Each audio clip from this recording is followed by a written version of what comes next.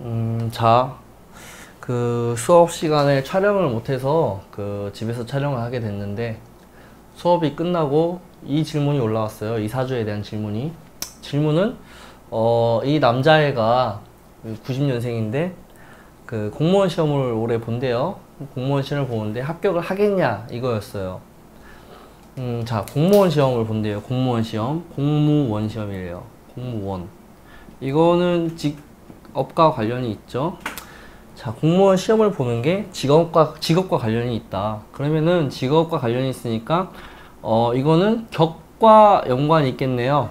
격국과 연관이 있다. 자, 그러면은 이 사주를 보고 이 질문에 대한 답을 구할 때 어떻게 접근을 할 것이냐, 이거를 먼저 생각을 하셔야 돼요.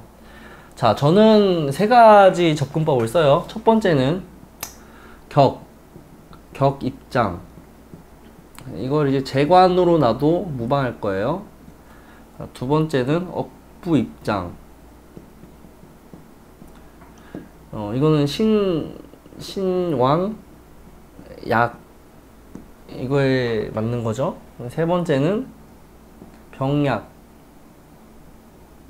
병약으로 있다는 건 사주에 이제 어떤 것이 문제가 되는가 이걸 얘기하는 겁니다. 어떤 게 병이 되고 그 병에 대한 치료 치료약으로 어떤 약을 쓸 것인가 이거예요. 자 그러면은 어, 공무원이니까 질문이 공무원에 합격하겠느냐 이거니까 격으로 풀면 되죠. 음, 그러면 한번 격으로 접근을 해보자고요. 자 보면은 월지에서 투간한 게 격이다 이렇게 얘기를 하죠. 월지에서 투간한 기축 월주 자체가 이미 간여지동이기 때문에 뭐 다른데 어디에 투간이 됐느냐 이런 건 뭐 따질 필요가 없죠. 그 자체로 정관격입니다. 정관격. 기축이라는 정관이 어, 기둥으로 있어요.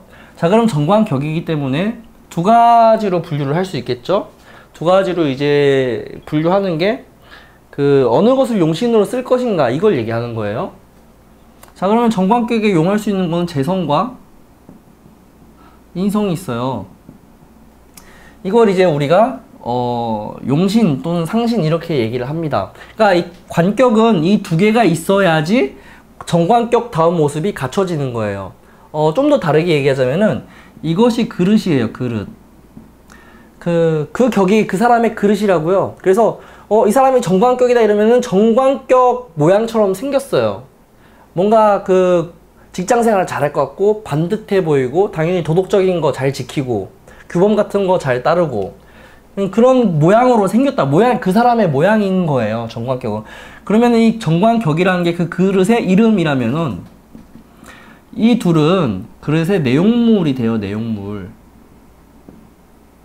그 그릇에 합당한 내용물이 되죠. 자, 그러면은 우리가 예를 들어서 술잔.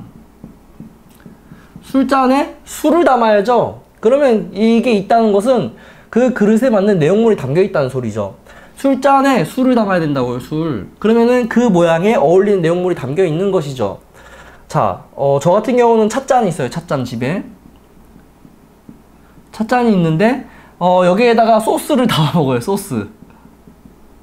마요네즈, 막 케찹 이런 걸 담아서 먹어요. 그럼 이거는 뭐냐면은 격은 제대로 되어 있는데, 어, 내용물이 제대로 안 돼 있는 거예요. 무슨 말이냐면은 정관격에 재성이나 인성이 없으면 이런 모양이 돼요. 이런 모양이. 그래서 그 격처럼 그 격대로 안 사라집니다. 근데 이 사주를 보면 보세요. 어, 재과 재성과 인성이 다 있어요. 사주에. 그러니까 어, 정관격을 쓸 수 있다. 이렇게 얘기할 수 있겠죠. 정관격에 인성과 재성이 다 있다. 자, 근데 유심히 보면은 이 인성은 아, 이 재성은 어, 너무 약하죠. 축토가 옆에 있는 데다가 여기 여기를 도와주는 목도 전혀 없고요. 어, 이게 오화라고 할지라도 연료가 없는 것과 마찬가지예요. 그리고 중요한 건 위에 경금이 나와 있다는 것. 천간으로 투간된 게 경금이에요. 인성이 투간돼 있어요. 자, 따라서 이 화는 물론 정관을 보충해주는 정관의 격으로서의 재성으로 쓰일 수도 있겠다 이렇게 볼 수도 있지만 어, 오히려 이 경금을 만들어주는 거에 더 적합해 보입니다. 제가 보기에는요.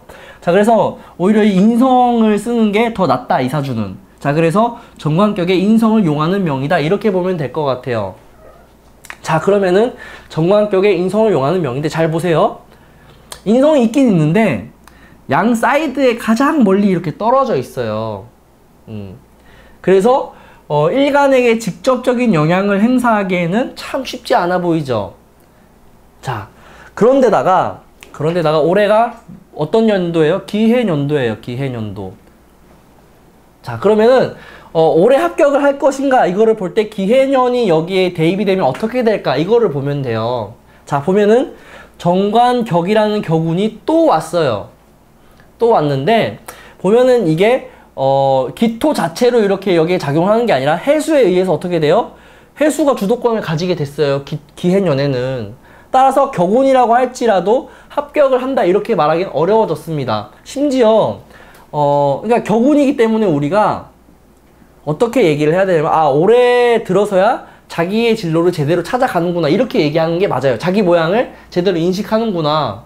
그래서 보통 사람들이 격운이 올 때는 내가 이렇게 해야 되는구나를 인식해요. 자기의 직업을 제대로 찾아가는 게 격운이라고 보면 돼요. 근데 해수에 의해서 이게 흐트러졌어요. 그리고 중요한 건 어떻게 됐어요? 축, 오, 진, 자 여기에 해수가 개입이 된다는 거예요. 지지에 전 지지에 전부 다. 그러면은 보면은 어, 이 사주는 나름 어, 정적인 형태를 취하고 있습니다. 자수, 자진으로 연결되어 있는데 임수가 나와 있죠. 축토도 토잖아요. 어쨌든 다 토니까 정적이죠.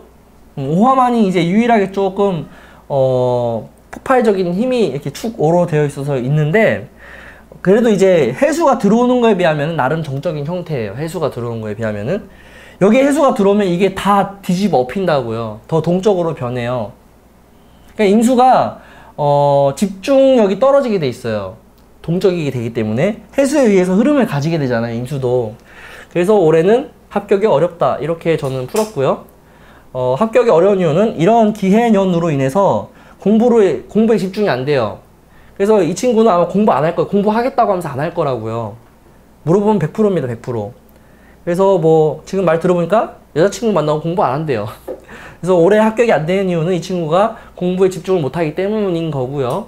언제 합격하겠어요? 내년에 경자년이 있네요. 어, 경금이 제대로 들어오네요. 인성이. 이렇게 박혀있던, 사이드에 있던 경금이 안으로 확 들어오네요. 경자년에 합격한다고 저는 해석을 했습니다. 뭐 올해가 지나면은 증명이 되겠죠? 이렇게 풀면 돼요. 격 입장에서. 만약에 이 친구의 질문이 이게 아니라 뭐 저는 언제쯤 행복하게 살 수 있을까요? 이런 말이었으면 달라졌을 거예요. 이거 이걸로 해석을 할 필요가 없죠.